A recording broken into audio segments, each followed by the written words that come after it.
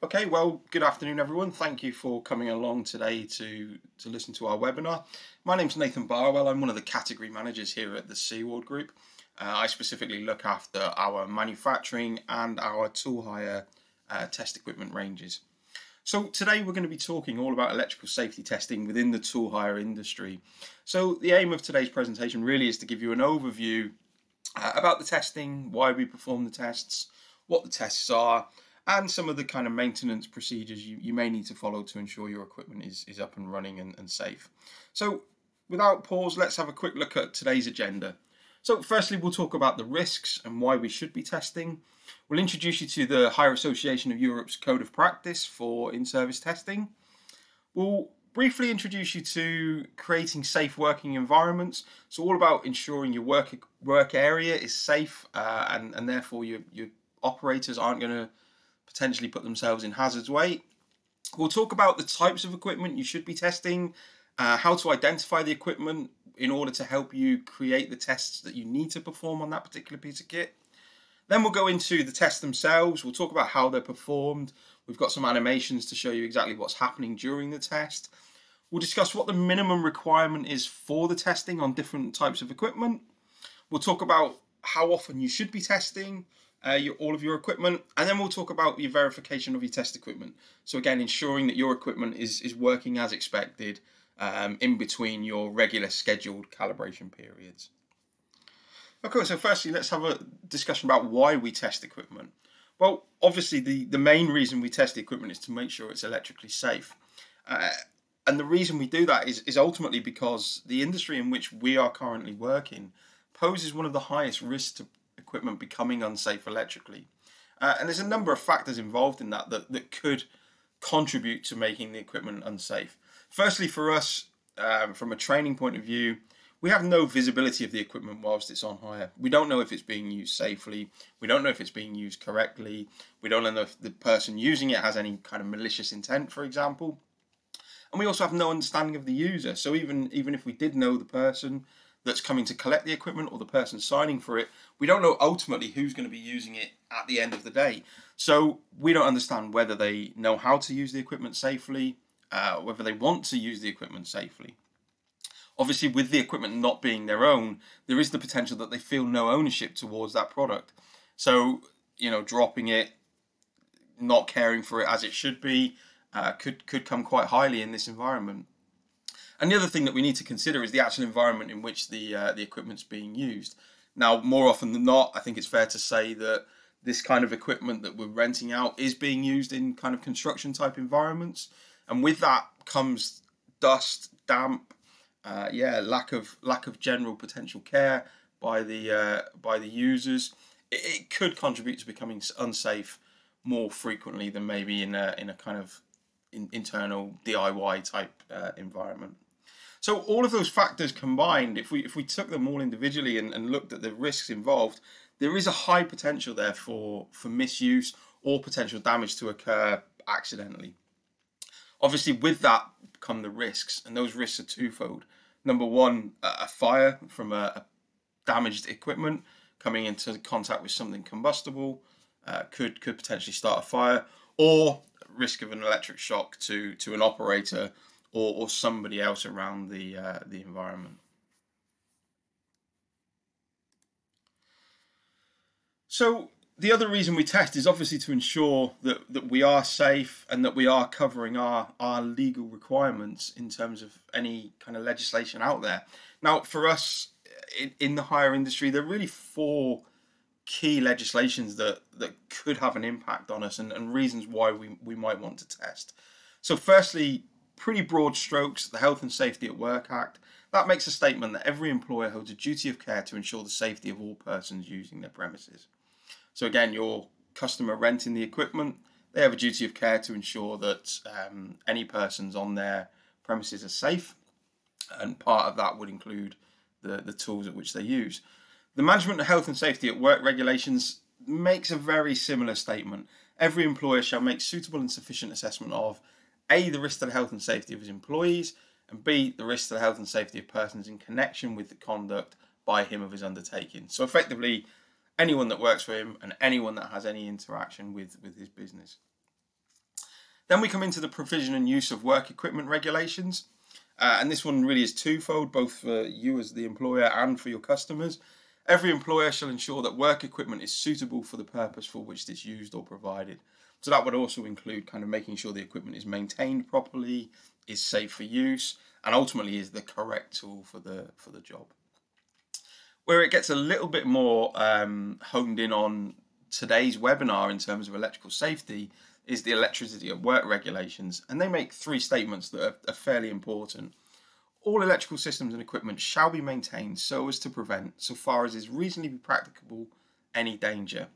Testing is to be carried out by a competent person, and test results must be retained so as to, maintain traceability. So, again, for us, we need to make sure our equipment is safe. We need to maintain it as far as we can to ensure it's safe. Uh, and from a training point of view, testing should be carried out by, by a competent person. So, all of those things combined um, lead to ultimately our, our destination of the uh, Hire Association of Europe's Code of Practice, the HAE EST 2012 guide. So this document was written by the HAE Technical Committee. Seaward are proud to be part of, of that committee, ensuring the standards of, of work are safe. But we got together as a group and decided to finally write a code of practice to ensure that all of hire companies uh, are following a, a set of guidance to ensure their products are safe. So this code of practice was released in, in early 2013. I, I would certainly advise if you haven't got a copy to, to make contact with the HAE uh, and, and request a copy. It's worth having on site. Um, it, it, it's got full of good kind of reference material for you. Discusses all of the kind of pass and fail limits that I'll go through as we, we go through the presentation. So lots of what we talk about today on the presentation are covered um, within this uh, within this guidance document. So before we move on to talk about testing in general, the first thing we need to consider is is our own operators. We're going to talk about how we keep our customers safe, but ultimately, firstly, we need to ensure our own staff, our own employees are, safe. So one of the things we need to do is look at how we can protect against electric shock within the uh, the workshop environment. Now, there's two main things we can do to reduce uh, severity of an electric shock or negate the, the the potential for an electric shock. The first thing is if we reduce the potential for current to flow through the body. So if we limit the path that current can flow through the body, then we, we instantly limit the uh, the safety element of of the, the shock hazard. So we do that by simply insulating the test area. So those of you that probably have already got an established um, environment will know there's things like rubber matting we can use. But essentially what we're trying to do is remove any ground path through the operator. If current can't flow down, down to ground, then the shock hazard is removed. The other thing we can do is reduce the duration of the exposure. So if we have methods of automatic disconnection, then great. So things such as RCD devices um, or RCBOs that will automatically disconnect the supply uh, in the event of a fault. Obviously, those things will, will need regular maintenance and checks, um, but those are the two key aspects that we need to think about. How can we reduce the potential for current flow through our operators if the worst was to happen? But also, how can we um, inhibit the duration um, by means of automatic disconnection? So, what we're looking to do ultimately is create a, a safe working environment. Now, we do have a separate webinar that discusses this in, in a lot more detail but I'm going to quickly talk through the major things that we can do to create a safe working environment. Now, there is a European standard, EN 50191, which talks all about creating uh, safe working environments. Ultimately, what we're looking for are the following four kind of things an insulated test area, so we're protecting our operators doing the testing, prohibition zones. The prohibition zones are designed to keep the untrained away from contact with the, uh, the equipment under test safe disconnection of supply, as we spoke about, and then things such as warnings or information signs to alert everyone to what the, uh, the area is used for.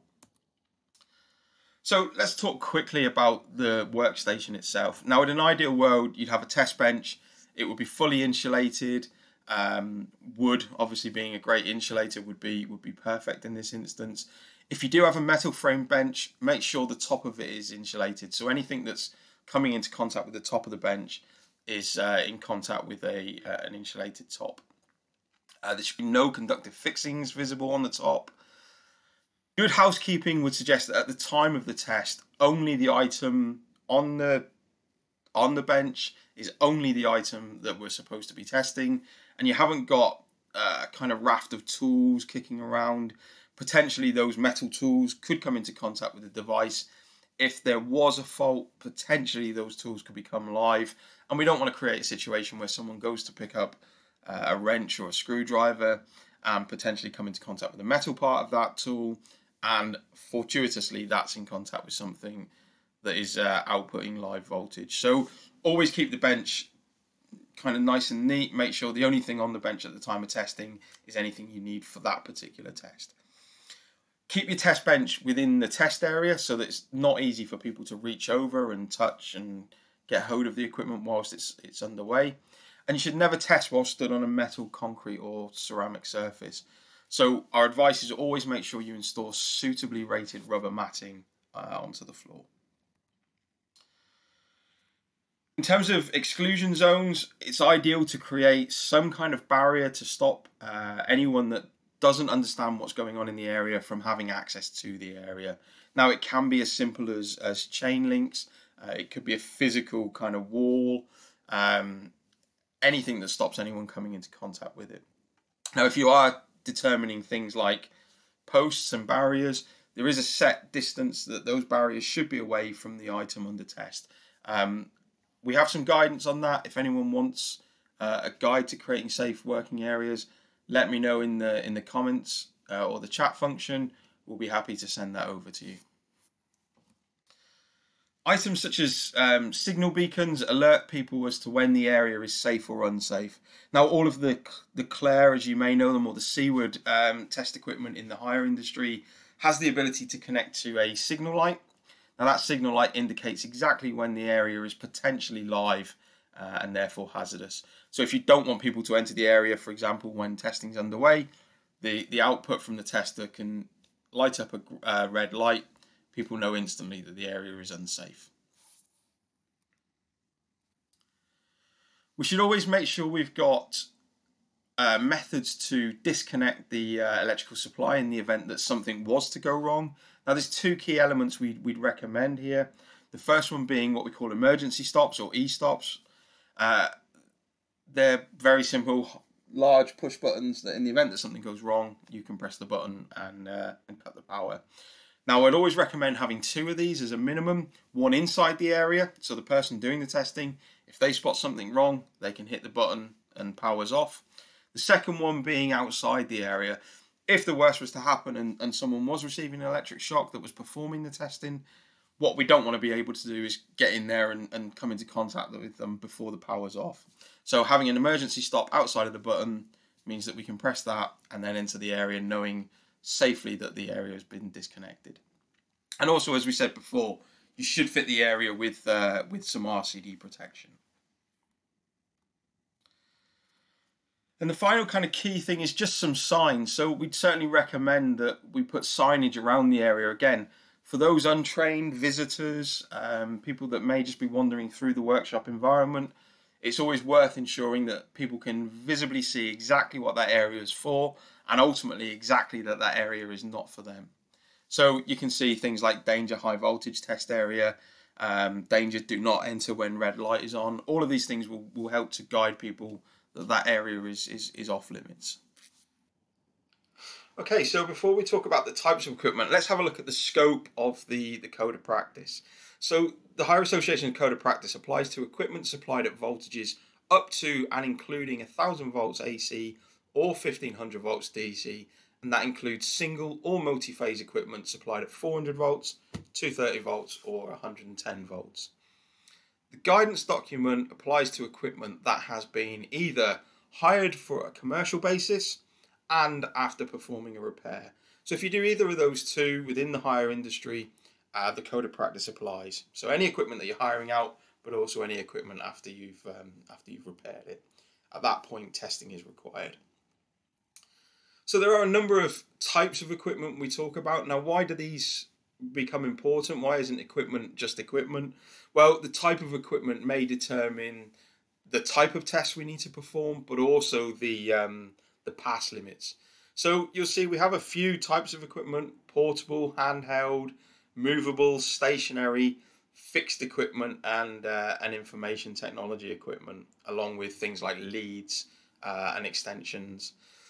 Now, generally, we, we tend to find that fixed and information technology equipment are probably the lesser of the uh, the types of equipment we would hire out because by very definition these are things that will, will go out and come back uh, fairly regularly. So things like portable handheld movable and, and stationary are really where we'll focus our time today.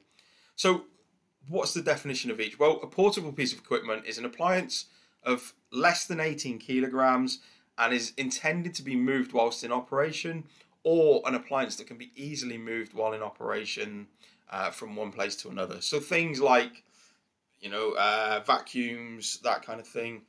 Uh, we then talk about handheld equipment. So again, handheld equipment is fairly self-explanatory. So this is anything that can be moved around nice and simply and is intended to be held uh, in the hand during normal use.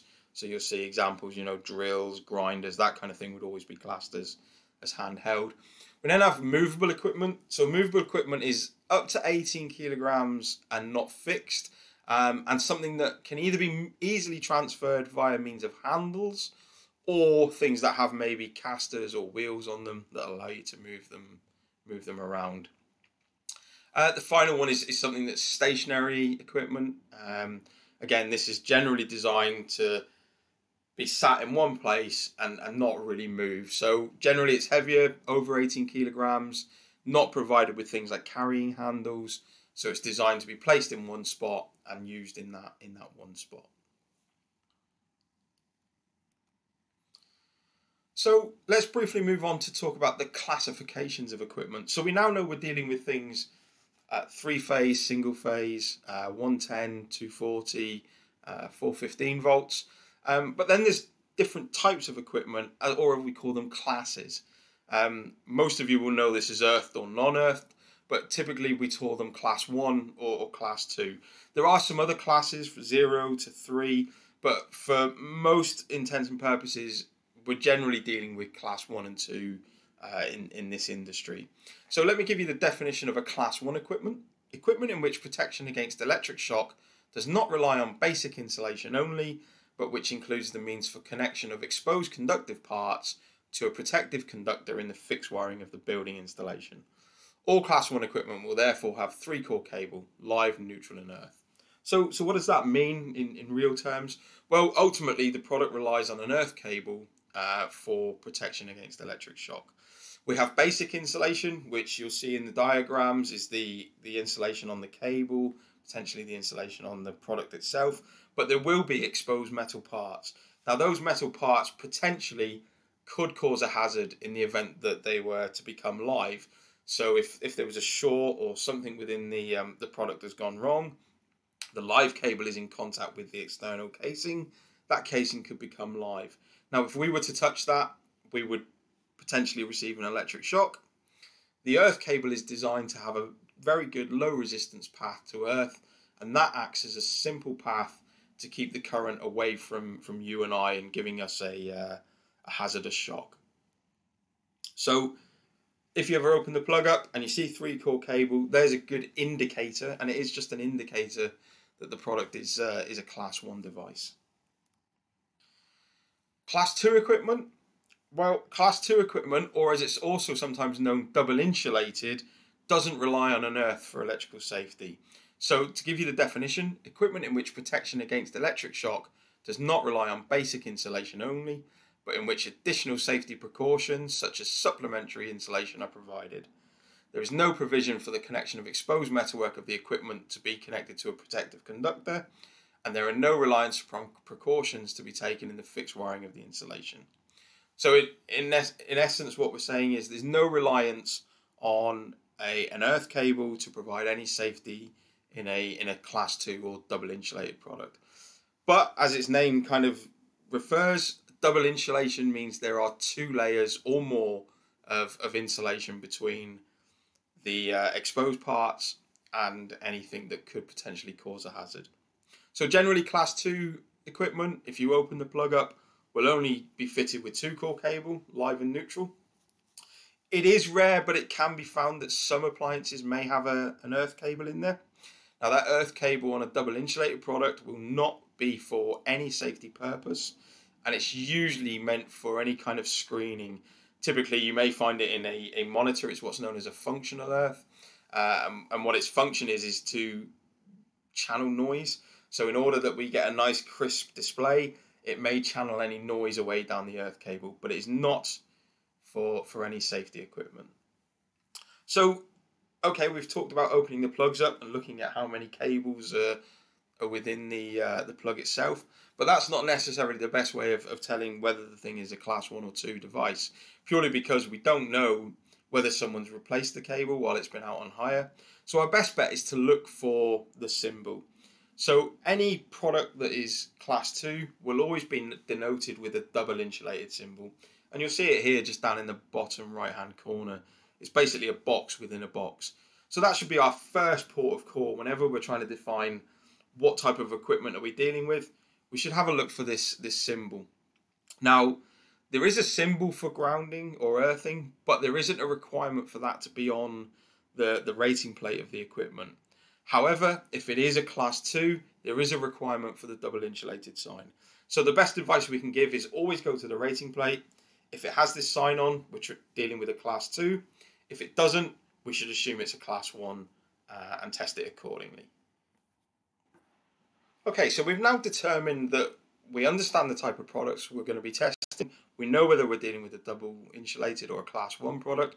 Let's start to talk about the, um, the tests themselves. Now, ultimately, all of the electrical safety tests we're going to talk about today have the aim of proving one of two things. That number one, if we have earth, an earth cable, where it is fitted, we need to make sure it's adequate. We need to make sure it's doing its function, it's got a good low resistance. And the other tests that we talk about today will have um, one purpose, and that's to prove the insulation is good. So any insulation, and when I talk about insulation, effectively what I mean is any barrier within the product designed to keep you and I safe from an electric shock is, is determined as, as insulation. So those are the electrical safety tests. There are some other tests that we may perform, which are what we call functional testing. And those functional tests aim to prove that the unit operates as we expected. So, you know, things like speed or heat settings, this is really just making sure that the equipment that we're putting out on loan is actually doing what it's designed to do and it's doing it correctly. Just as a brief note, um, the manufacturer of any equipment should maintain the ultimate authority on his his equipment and how it should be tested. So if you are doing any tests and you're maybe not receiving the results that we talk about in today's uh, guidance, we'd always recommend consulting the manufacturer, asking them for uh, guidance on exactly how the product should be tested. So let's talk about the, the first test that we should perform before we even consider putting the unit into a, a test equipment and uh, and performing electrical safety tests, and that's the formal visual inspection. Now, it's very important to note that the inspection phase of the test is probably the most important part. You can see up here that 80% of electrical faults are generally discovered when doing the uh, the visual inspection. So it is important that we do the visual inspections. It's important that we note the visual inspections um, and ensure that they are done correctly. Now, in essence, we're looking at three main areas on the product for um, visual inspection. We generally always start at the end that we want to plug in, the plug itself. So, in that case, we're looking for things such as cracked cases, any bent pins, uh, incorrectly rated fuses if you do have um, 240 volt equipment, uh, incorrectly connected wires within the plug, loose connections, loose cable clamps. Um, other things to be aware of are things like um, sheathed earth connections. So it, it's sometimes common that you'll see that the uh, manufacturers actually sheath the earth. If you do see that, that should be a failure. Um, it's it's known that the grip needs to connect to the uh, the metal shaft on the earth pin. If you have a plastic sheathing over it, quite often that grip is sitting on the plastic and therefore we've interrupted the supply of um, connectivity between the two, and the Earth is effectively useless um, because it's now insulated. So if we're happy with it, the plug's good, we can then move on to the mains lead. Again, we're looking for similar sort of damage to it, uh, whether that's fraying, brittle insulation. Uh, be careful kind of where it's kinked and coiled. By the time you un- uncoil it, that, that potentially causes issues. Always be wary of things like um, tape joints. I'd always recommend taping the taking off the tape, seeing exactly what's going on underneath, uh, and if you need to, again again fail it and also make sure it's got the correct cross sectional area for the for the appliance that we're we're performing the test on. We'll, we'll talk about that in a bit more detail when we look at the um, the earth bond testing. And then once we're happy that the lead's satisfactory, we can move on to the appliance itself. So again, we're looking for kind of any signs of damage, drops, whether it's been cracked, uh, any signs of moisture being kind of present within the device. Um, you know any anything that doesn't look right, whether the the switch has fallen off and someone's put a new one on, is it the right one? Does it do the job effectively? All of those kind of things. If it doesn't look right on the visual inspection, my advice would always be to fail it and seek advice from maybe someone else uh, to get a second opinion. But assuming the visual inspection is good, we can move on to to start talking about creating uh, the correct test for the, the product. Now, the first thing I would always do is come to have a look at the rating plate. The rating plate gives us a lot of useful information that helps us to determine exactly the type of test that we need to, uh, to perform. So, there are a few uh, things on here I'll point out to you. You can see the operating voltage. Again, that tells us exactly what operating voltage the product should run at, uh, which will ultimately tell us if we've got the right plug on the end. Uh, we can th- see things like the uh, rated current or wattage, and that will help us a little bit later when we talk about functional tests. You'll also be looking for things like the double insulated symbol. Uh, but there's also other information on there, like things like serial numbers that you might want to record, because that will give us a unique reference to, to help keep our maintenance logs uh, on the equipment that we're testing. So once we've got through to this stage, uh, we now know what equipment we've we're testing. We should understand whether it's class one or class two. That will help us now to determine exactly what tests we're going to be performing. So what we're going to do at this stage is we're going to talk you through all of the potential tests that you may want to do on, on a product, and then we'll talk about exactly which ones are, are viable for which particular type of equipment. So the first test we're going to talk about is the earth bond or, or earth continuity as you, you may know it. The earth bond test is only performed on Class 1 equipment, so equipment that has an Earth. Um, because the test is purely based on that Earth circuit, it's only performed on, on Class 1 equipment. So the test is to ensure that the connection between the earth pin in the mains plug of the appliance and the metal casing of the appliance is satisfactory and sufficiently low resistance. A selectable test current is applied between the earth pin of the main supply plug and the earth bond test clip. Now this earth bond test current can be one of two ways. We can either do what we call a soft test, which is a low current test, but in order to do this test correctly, we need to flex the cable. The reason being is that the low current test won't potentially highlight any breaks or, or um, damage to the cable. Um, so we flex the cable, and if there is any damage, that that that flexing will show up the uh, the potential damage. The other option is what we call a hard test, which is 1.5 times the fuse rating up to a maximum of 25 amps, and we perform this on each point between 5 and 20 seconds. The pass limit for a good test is, is what we call 0.1 plus R. Now, 0.1 is always in there as a constant, and the R value will vary depending on the type of equipment you're testing. And it will vary upon two factors the cross sectional area, or how thick the cable conductors are internally, and how long the, uh, the cable is. Now we'll have a quick look at this table. Now this table tells us uh, some really relevant information for working out the the pass fail threshold for the uh, the potential equipment that we're testing.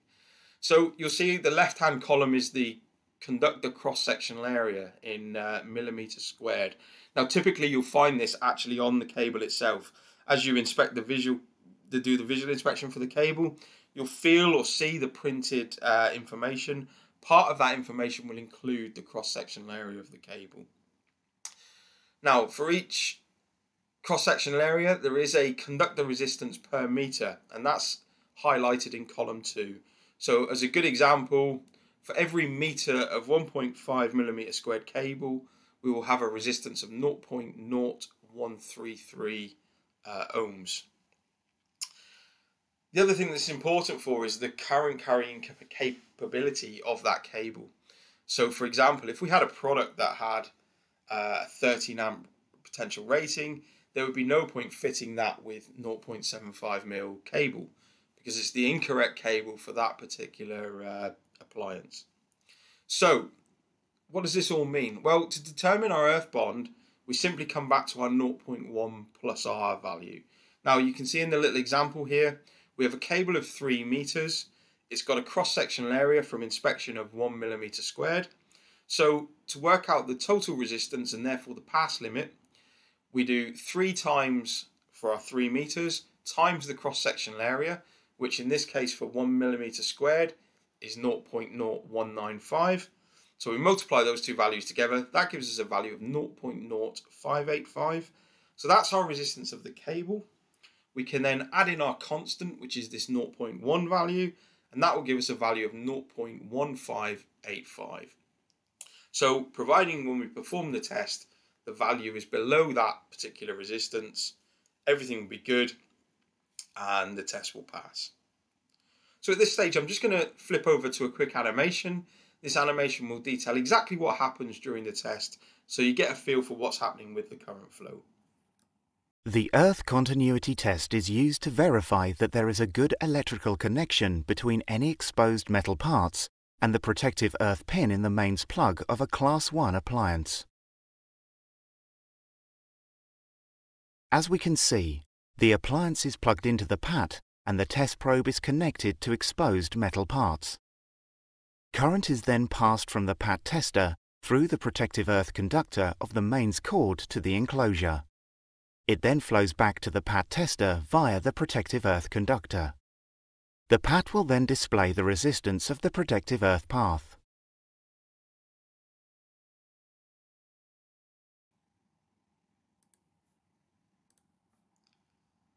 The second test we're going to talk about today is our flash test or HIPOT test. Um, it's essentially what's known as an electric withstand test. Now you'll see instantly the first thing that I'm going to highlight are the high voltages 1250 2500 volts AC. So it is quite a high voltage um, test that, that is performed here. And ultimately, this test is the main reason why we talk about having safe working environments. There is a hazard um, in terms of performing this test. It could produce a nasty shock for somebody. So we need to make sure that we are, um, are nice and safe. This test is the suggested method for measuring the strength of the insulation um, according to the Hire Association Code of Practice. Now, there's very good reason for why we recommend this test. Essentially, this is a repeat of the manufacturer's test uh, as the product comes off the production line. So the, the thought process is that if we can prove the equipment is as safe as it's ever been, then it's safe to go out on hire. And it, as safe as it's ever been can only be as safe as it was once it left the production line. So by repeating that production line test, we can be sure that the test is as safe as it ever was. Now, a couple of pointers uh, when you do do this test. Firstly, do not touch the item under test while performing. Keep your hands well away from it. Always ensure where you can that the unit under test is switched into the on position. So if the unit has a physical on-off switch, please ensure that's in the on state. Otherwise, we're only really testing up to the point of the switch, and we want to be testing beyond that and into the, uh, the entire appliance. So the voltages will vary dependent on the equipment's classification. So for class 1 equipment, uh, we apply a voltage of minimum 1000 volts and that's applied between the live and neutral pins. So we strap the live and neutral pins together. This is all done automatically within the tester. And then we send a test voltage out through the live and neutral pins. And if there's any current flow, it should flow back down via our earth test uh, our, sorry, our earth cable and give us a reading. For double insulated products, as we've already mentioned multiple times, we don't have an earth pin. So what we simply do in this case is replace the pin for an external probe. So we take an external probe and we place that onto the exposed conductive parts and we make sure there's no current flow coming back through. This time, however, because the product is double insulated, we effectively apply double the voltage. So the voltage jumps from a minimum of 1000 up to 2500 volts. So how do we know if the uh, equipment is good or not? Well, ultimately we know it's good if there's no current flow coming back down through either the earth cable or the uh, or the probe. But according to the code of practice, and again according to the manufacturing standard, uh, a good test is where the current flow doesn't exceed five milliamps. Now, again, back to our statement about manufacturers. If you do receive readings greater than 5 milliamps, it's worth contacting the manufacturer. If they advise that the reading is, is above 5 milliamps, then, then all being well. But only apply that rule once you've spoken to and had that confirmed with the, uh, the equipment manufacturer. Again, we're just going to pause quickly. We'll show you a very quick uh, animation to explain exactly what's going on during this test, and then we'll move on to the next test. The flash or dielectric strength test is carried out by applying a high voltage, typically 1500 volts AC, to both the live conductors of the appliance. If there is any breakdown in the insulation, the PAT will measure the current flowing through the insulation to protective earth. A test probe is required when testing a Class 2 appliance. The probe is applied to any exposed metal parts.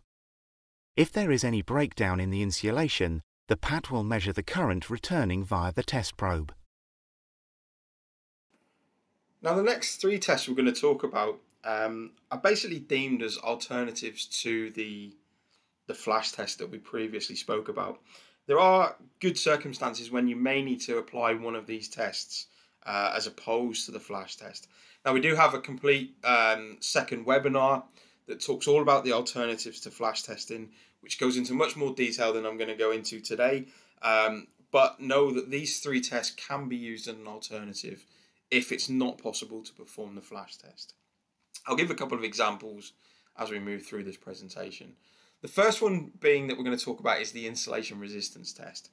So the insulation resistance test, again, is a, is a measure of the adequacy of the insulation between the main supply pins and the earth or the external chassis if it's double insulated. Um, it may be suitable if you have products that have sensitive electronics. It may not be wise to perform a, uh, a high voltage flash test on it um, as a good example, that may include things such as battery chargers for any any kind of battery powered tools you may have. So much like the flash test we spoke about before, the test is applied by strapping the live and neutral together, sending a test voltage up through the live and neutral, and measuring any current flow coming back down either through the earth cable or through a probe uh, if it's a double insulated product. In this instance though, however, we only apply 500 volts or alternatively 250 volts um, to, to the device. And rather than measuring and displaying back the current flow, the tester will perform a quick calculation using Ohm's law to give you a resistance in, in megohms. Now, the insulation resistance test is, is kind of a strange one in the um, in terms of limits because it's the only one that applies what we call a floor limit to the um, to the result, in essence, that the floor is the lowest reading before it fails. With most tests, what we're looking for is a reading beneath the, the pass limit. In the case of the insulation resistance, we're looking for a reading above the pass limits. So, what constitutes a good test when we, we perform this test? It depends on the class of equipment. It's nice and easy to remember, however. For a class 1 equipment, the resistance must be greater than 1 meg ohms. And for class 2, the resistance must be greater than 2 megs. So if for any reason the reading is beneath those values, the test would be deemed a fail uh, and we, we, would, we would stop testing at that point. So again, let's return to our animations. We'll give you a quick view of exactly what's going on and come back and talk about some of the powered tests. Insulation testing is carried out by plugging the tested appliance into the PAT and applying a test voltage of 500 volts DC to both the live and neutral terminals of the mains plug. If the insulation is in good condition, a high insulation resistance reading is obtained, typically in the order of hundreds of megaohms.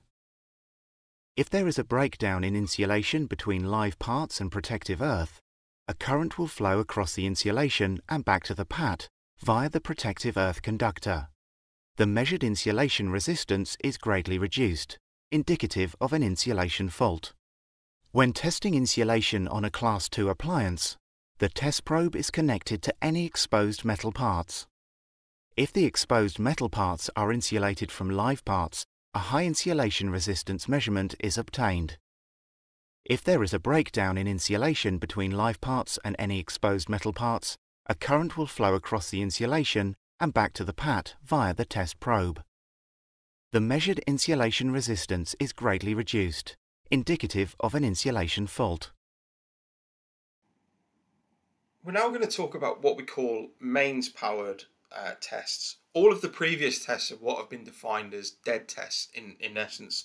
The equipment isn't doing anything whilst we're performing the test. It's not powered up.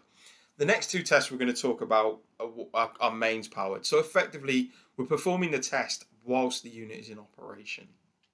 So bear in mind that mains voltage will be applied to the next couple of tests. The reason I bring that up is there is a safety element to that that we'll, we'll cover in a second. But the first test we're going to talk about is what we call our protective earth conductor current. Uh, a lot of you may know it as earth leakage. It, it's the same thing. Um, that's just its its official name. So, a protective earth conductor current can only be performed on a product where there is an earth because we're looking for leakage through the earth cable. Um, so, therefore, we only perform this on class 1 equipment. This test shows the current being lost through leakage. Now, that can be done in a number of ways. In the main way we're going to talk about is what we call a differential leakage test. So it talks about the leakage loss through the difference in the currents flowing in the live and neutral conductors. So if you imagine we had an absolutely perfect circuit, we turn the power on, the uh, electrical current flow heads up through the live cable, through the appliance, and back down through the neutral. Now, in an ideal world, everything that went up through the live would come down through the neutral, and therefore we'd have what we call a balanced supply. And there'd be no leakage because there's nowhere for it to go. It's flowing up and, and back down through the neutral. Now, if we have a problem, if we have a fault where current flows, that means we have a path that's flowing away from the live conductors. And what that means is we're going to get an imbalance between our live and neutral cables. So the, the differential method basically tells us what the difference is between the current flowing in the live, the current flowing in the neutral, and if it's sufficient enough to cause a problem, the, the tester will uh, will call it failure.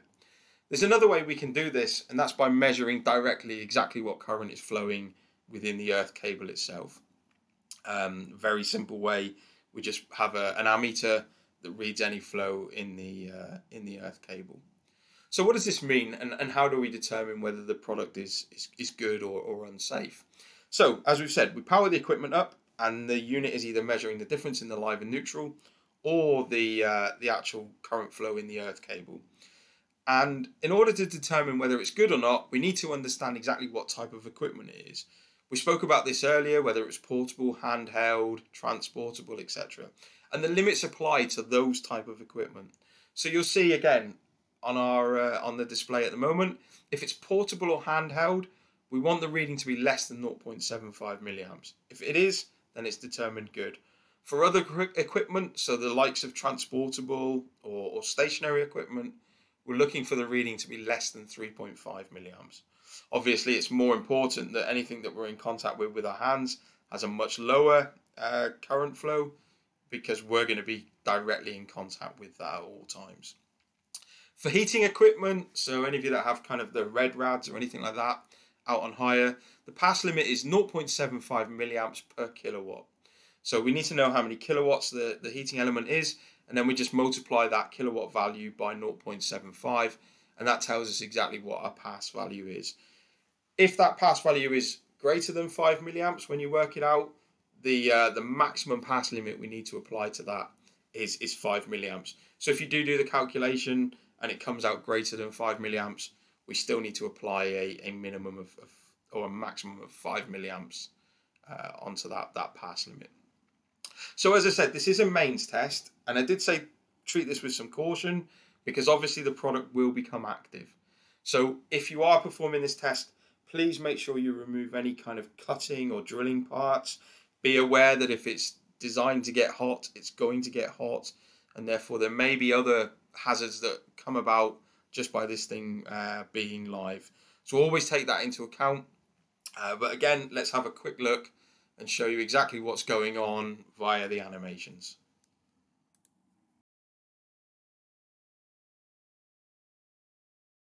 To measure a protective conductor current, the appliance is plugged into the PAT. When the appliance is energized, current will flow from the main supply to the appliance in the live conductor, indicated via the brown arrow, and then return to the supply via the neutral conductor. If there is good insulation between live parts and protective earth, the live and neutral currents are equal, i.e. all of the current entering the appliance in the live conductor returns to the supply in the neutral. If there is a fault with the insulation, some of the current flowing in the live conductor will return to the supply via the protective earth. The PAT will detect this imbalance in the live and neutral currents and display the result. Okay, so for the final core electrical safety test, let's talk about touch leakage. Now, touch leakage, much like the protective earth conductor current leakage test we've just spoke about, is applied to equipment whilst it's live. It's generally performed on class 2 equipment where we don't have an earth. And effectively, what it's doing is simulating what would happen if you or I were to touch the equipment. What current flow would potentially flow through our hand that's in contact with the equipment, and uh, and what shock hazard are we likely to uh, to get from that? So effectively, what we do is we take a clip or a probe and we apply that to the metal bond points on the um, or metal exposed metal points on the device, and that effectively simulates a human hand. That is then taken through a what we call a body model, which is effectively a resistor. The human body has a resistance of two two kilo ohms roughly. So we, we take it through a body model, and that effectively then gives us a reading back of exactly what, what you or I or the average human would would be exposed to should they touch it.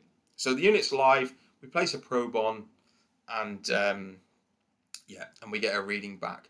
Now that reading is is very simple um, for all equipment of of class two. Any touch leakage test must have a current flow of less than 0.25 milliamps. So in this case, it doesn't matter whether it's handheld or portable. The the limit is fixed uh, at, at all times. One other safety concern to, to just be aware of during this test, again, as we've said, things are going to move, they're going to power up. You should also then take care not only for uh, kind of taking off the, the hazardous parts, but also be cautious of where you're going to place your clip. Make sure that clip doesn't come into contact with any moving part that could potentially damage the equipment or fling the clip off at high speed uh, and potentially, uh, you know, causing a hazard that way. So finally, let's take a quick look at how this test is performed, and then we'll talk about some of the uh, the functional tests.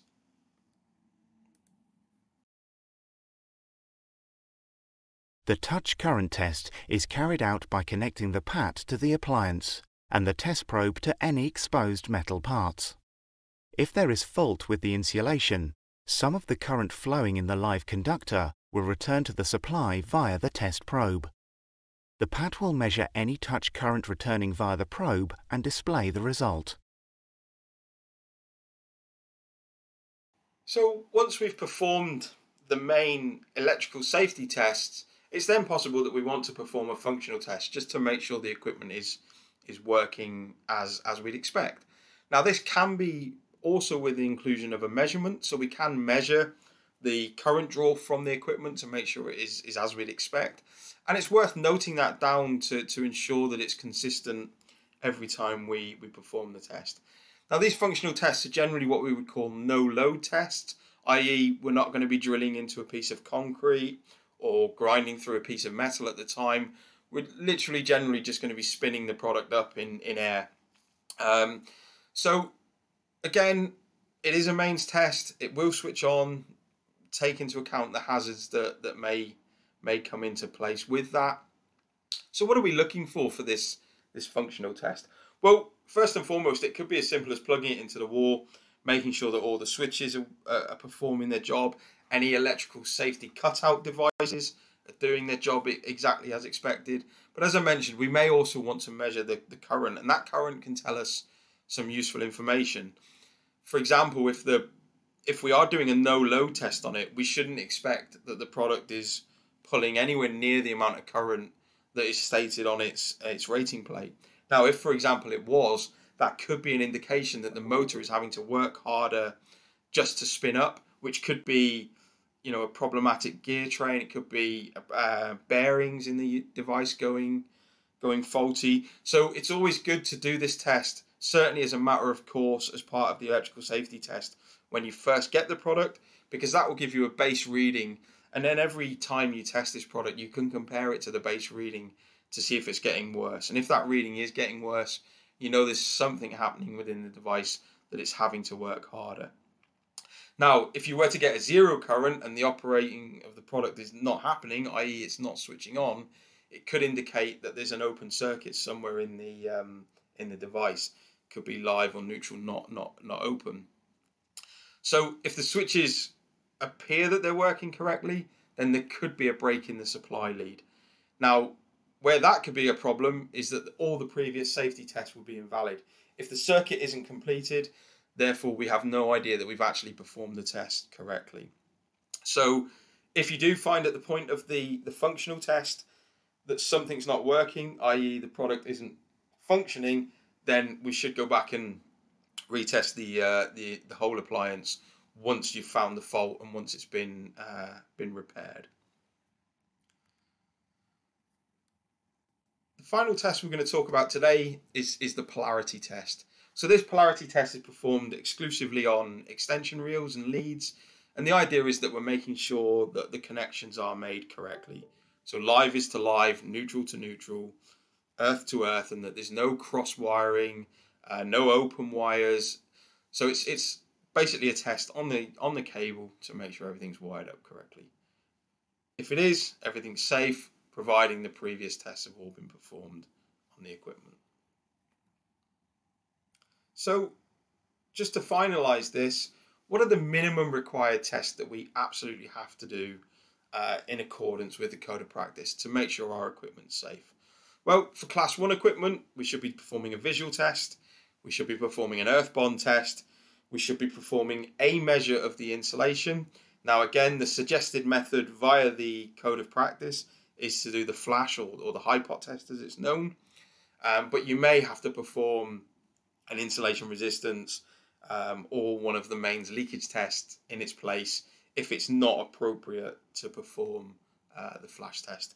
And then finally, we would perform the functional test to make sure it's all working. For class 2 equipment, we simply perform a visual test, an insulation test, and a functional test. Being no earth, there's no requirement to perform uh, an earth bond test. One of the questions we're often asked in regards to testing of equipment in the hire industry is is mostly around frequency of testing. How often should we be testing? Who owns the responsibility of the testing once it's out on hire? So we thought we'd address that a, a little bit today. Um, the good news is the answer to both questions are contained within the HAE's code of practice. Um, firstly, let's deal with how often should you be testing your equipment. Well, the statement within the code of practice is nice and simple. The recommendation is that once the electrical equipment is returned from hire, it is then subjected to a combined inspection and test prior to the unit being rehired. So, in between each testing period or in between each hire period, we should be ensuring that the equipment is tested. And that's for very good reason because we don't know what state it's coming back in. We need to make sure it's safe uh, before it goes back out. The other question is regards to what about shelf life? We've got a piece of equipment, it hasn't gone out the door for three months. Uh, what do we do with it? Well, we would recommend kind of conforming to a risk assessment policy on this. How likely is the equipment to become unsafe just by kind of storage on the shelf? Now, there is a secondary aspect to this. Your customers may require a kind of recent certificate. So, as a service, you may want to um, test any equipment that's been on the shelf a little bit longer uh, just before it goes out, just to make sure the, the customer has a, an up to date certificate. So, what about testing of equipment whilst it's with the customer? Well, again, this is addressed, and the simple fact is that the responsibility for the electrical safety of the equipment passes over to the person renting the equipment once the uh, the contract has been complete and it's on their site. Now we do recognise this is potentially an extra revenue stream where you may want to charge your customers for retests or for replacement equipment, uh, but ultimately the responsibility falls on the line of the person taking the equipment on hire, and they should comply with the IET's code and practice for in-service inspection of testing during the period that it's on hire. Once it comes back, back into responsibility of yourselves to do the testing and get it away again back on hire. So we'll quickly talk about test records and labelling. Uh, records should be kept um, both for testing and for uh, any register of repairs that you may perform. The testing records are good for two reasons. Number one, they allow you to ensure your products are tested. You've got that traceability should anyone want to see it. But number two, they also give your test operators the ability to look for any kind of degradation over time. So they can compare the readings over a period of time and see if anything is going wrong that potentially does need to be addressed before it becomes unsafe. Now, it is recommended that all equipment is uh, kept records for the lifetime of its in-service period. So you have those for, for as long as you have the equipment. And those records can be paper or digital, providing you have a, have a good enough method to, uh, to store them. Now, for the equipment itself, it's recommended that as it goes out on hire, there is something attached to it, whether that's a, a label or a document that clearly shows the equipment status, as in pass or fail, along with the date that the equipment was last tested. Now, we just briefly, before we bring the webinar to a close, want to touch on verifying your test equipment at regular periods. Now, I'm sure you all have the yearly calibration performed, which tells your equipment is, is testing and measuring accurately. But what about that interim period? Well, that's where this really useful tool within your workshop environment comes into play. A fault simulator is designed to act like a faulty appliance. We perform the same tests on it that we would on our normal equipment, but in this case, we're looking to see a failure. A failure tells us that the equipment is working correctly. So we'd recommend that every workshop has one of these, and we'd recommend it's done on a daily basis. Simply plug it in, perform the test as normal, look for a failure, which would tell you that everything is good within your, your test equipment. And finally, I'd just like to briefly introduce you to uh, some test equipment designed specifically for the hire industry. Seaward have been making equipment um, specifically designed for hire testing for the last 30 plus years. Um, some of you may remember our old A255 series testers. But currently we have two models available on the market. Uh, we have our SafeCheck 8 series of testers. Now these testers are designed with digital data in mind, so they can be completely pre-programmed with test sequences. They store the results into memory, which can then be downloaded to PC for instant kind of digital backup of, of test results. They can also work with printers to output a pass-fail label or a mini certificate label, should you wish. So they really offer kind of the all-in-one digital solution to, to storing your data and, and performing your testing. For those who prefer a more manual approach to it, we have our uh, our old workhorse, the, the B255. It's been around for a long time. I'm sure many of you will be familiar with it. But again, it performs all the required tests that we, we can do for the for the Hire Association Code of Practice, all done via manually, very via a very simple uh, dial and press to test function large kind of analog display giving giving the readings along with um, some pass or fail uh, signals for the uh, the HiPot test. So both are perfectly adequate. It just comes down to whether or not you want that digital storage of, of data or whether you prefer the manual approach. Well, that brings us to the end of our presentation today. Uh, I really hope that you all found it useful. I am going to hang around now and, and answer any questions that, that you may have. So please feel free to fire away any questions in the uh, in the chat or the question and answer uh, function on the GoToMeeting uh, tool. Uh, but at this stage, I'd just like to say again, thank you for your time, uh, and we'll be back with some more webinars shortly.